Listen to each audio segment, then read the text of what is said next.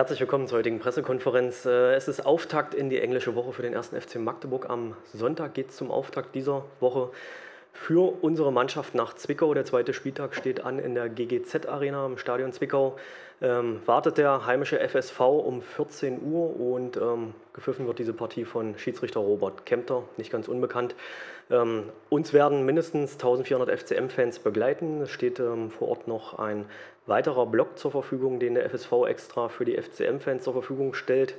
Die Gäste-Tageskasse und Einlassbeginn sind dann um 11.30 Uhr, also Tageskasse 11.30 Uhr geöffnet. Es gibt noch Tickets vor Ort und natürlich freut sich die Mannschaft da auf eine tatkräftige Unterstützung äh, bei den Sachsen. Und ähm, ja, an meiner Seite darf ich unseren Cheftrainer Stefan Krämer begrüßen und unseren Abwehrmann Timo Pertl. Stefan Krämer, eine harte Woche liegt hinter Ihren oder hinter deinen Jungs besser gesagt. Ähm, ist jetzt nur noch eine Einheit ähm, bis, bis zum Sonntag dann. Es war eine, war eine harte Woche in der Hinsicht, dass die Temperaturen hier in Magdeburg sehr heiß sind. Wie schaut es da aus? Ähm, wie sind die Jungs drauf? Wie sind deine Jungs drauf? Und wer fehlt eventuell? Ja, hallo zusammen. Ich fange mit dem Personal an. Okay, ich fange mit dem Personal an. Gesund sind alle, ähm, die jetzt letzte Woche auch dabei waren. Klar, Roter ist gesperrt, dafür kommt Coglin nach seiner Gelb-Rot-Sperre aus der letzten Saison wieder dazu. Ja, es, klar war es relativ warm, aber in ganz Deutschland ja, nicht nur in Magdeburg.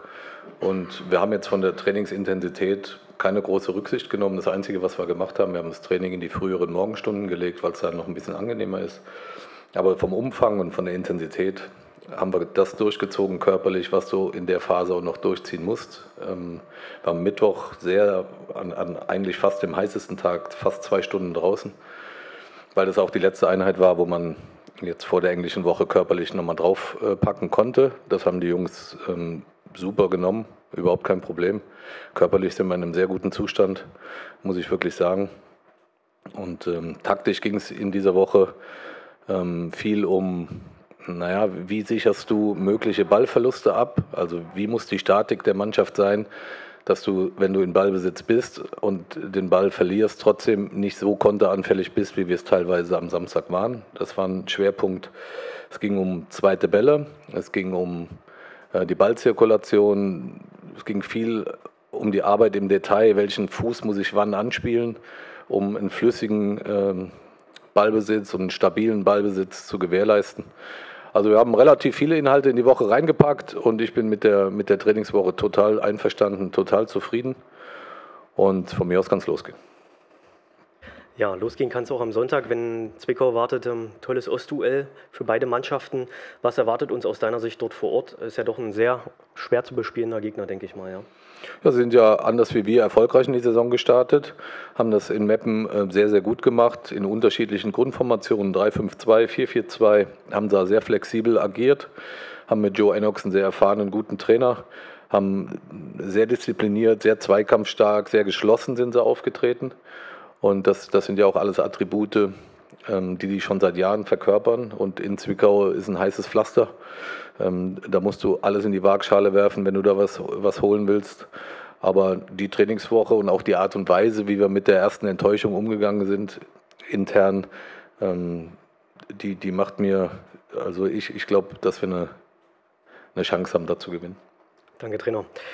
Timo, als äh, unser Co-Captain freue ich mich, dass du heute bei uns bist. Ähm, ähm, diese intensive Woche neigt sich dem Ende entgegen. Wie groß ist deine Vorfreude, dass es jetzt ähm, dann doch weitergeht nach dieser Auftaktniederlage gegen Braunschweig? Und äh, ja, wie ist so aus deiner Sicht die Stimmung in der Mannschaft? Ja, die Stimmung ist gut. Also äh, Trainer hat es ja gesagt, wir haben das sehr schnell aufgearbeitet. Äh, natürlich haben wir in Braunschweig, äh, ja, da haben wir äh, das Spiel verloren durch unsere eigenen Fehler. Ich denke, das passiert kein zweites Mal und äh, die Mannschaft ist bereit und ja, ich freue mich aufs Spiel. Danke, kurz und knackig. Dann geht es über zu Ihren Fragen. Gibt es Fragen Ihrerseits? Michael Nowak beginnt bitte. Rimmer, Sie haben eben äh, darüber gesprochen, äh, die eigenen Stärken äh, in Zwickau zu zeigen. Wie schwer wird das? Weil alle gehen davon aus, dass da richtig Beton angerührt ist. Erwarten Sie da noch eine dichtere Abwehr und noch tieferes Stehen als zum Beispiel gegen Braunschweig? Auch das wird immer wieder unterschiedliche Phasen geben. Also in Meppen hatte Zwickau auch viele Momente, äh, wo sie mit vielen Spielern vorm Ball waren und, und mit vielen Spielern in der gegnerischen Hälfte. Also es ist nicht so, dass, äh, dass die nur ihre eigene Hälfte abschließen, sondern im Gegenteil. Also für ein Auswärtsspiel haben sie viele Phasen gehabt, wie gesagt, wo sie auch sehr aktiv waren. Und, und mit, diesem, mit diesem Erfolgserlebnis im Rücken denke ich mir, dass wir auch dann vor vielleicht ausverkauftem Haus ähm, selber aktiv im Spiel sein werden und wollen. Und ähm, da muss man eben sehen, wie sich entwickelt. Manuel Heuscher, bitte. Äh, eine Frage zu Anthony Rotschen, der nach, seinem, äh, oder nach seiner Verletzung wieder eingestiegen ist in äh, diese ja. Woche. Wie haben Sie äh, bisher äh, in den ganzen Wochen in der Vorbereitung gesehen und ist er eventuell bereits in Zwickau schon eine Alternative für den Kader? Ja, könnte könnt ich mir durchaus vorstellen. Wir haben ja noch eine Einheit und wir müssen gleich auch noch ein bisschen diskutieren, ähm, weil es immer wichtig ist, dass, dass auf der Bank alle Möglichkeiten, die so passieren kann, können in so einem Spiel, Entschuldigung, abgedeckt sind. Das war eine, eine sehr ähm, also eine Bank haben, wo man auf alles reagieren kann. Und das könnte durchaus sein, dass wir ihn, dass wir ihn mitnehmen, ähm, weil in Zwickau, je nachdem, wie das Spiel sich entwickelt, auch, auch viele körperlich stark und große Spieler je nachdem gefragt sein werden oder gefragt sein könnten. Ähm, grundsätzlich hat er nach seiner Verletzung sehr, sehr ähm, also eigentlich war die Verletzung länger angekündigt, seine Ausfallzeit länger äh, geplant wie gedacht. Also er war sehr, sehr fleißig in der Reha, finden wir alle super, wie er da gearbeitet hat. Ist jetzt eine Woche wieder auf dem Platz, hatte auch schon gute Ansätze gezeigt. So die ersten 14 Tage hatte ich schon den Eindruck, ähm, dass er sich erstmal gewöhnen muss. das ist aber ganz oft so, wenn du aus, aus U23-Mannschaften kommst, ist die Umstellung auf eine, eine reine erste Profimannschaft schon nochmal ein, ein Tick was anderes. Aber ich habe im Moment den Eindruck, dass die, dass die Entwicklung ganz gut vorangeht. Also ich könnte mir vorstellen, dass wir den Sonntag schon dabei haben. Rudi Bartels, bitte.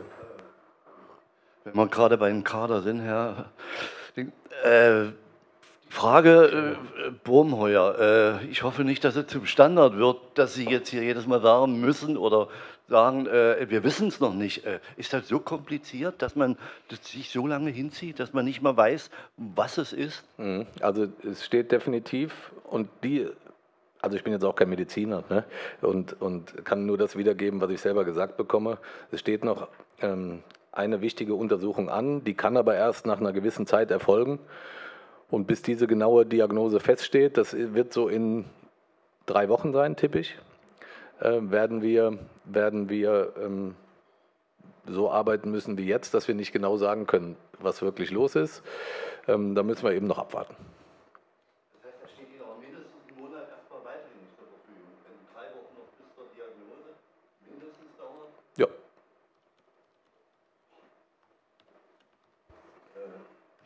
Ja, Anschlussfrage. Bitte. Anschlussfrage, äh, Neuverpflichtung, ist das noch eine Variante? Denn die Liste ist ja noch offen.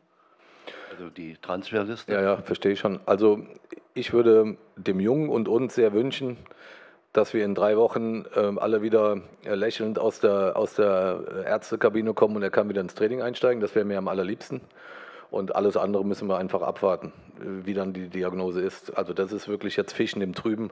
Da würde ich jetzt auch keine Wasserstandsmeldung abgeben wollen. Das müssen wir dann entscheiden, wenn dann wirklich ähm, die Diagnose gestellt ist.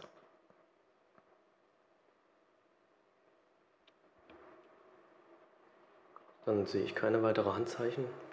Vielen Dank an dieser Stelle. Wir stehen jetzt noch für die abgesetzten Töne zur Verfügung. Danke.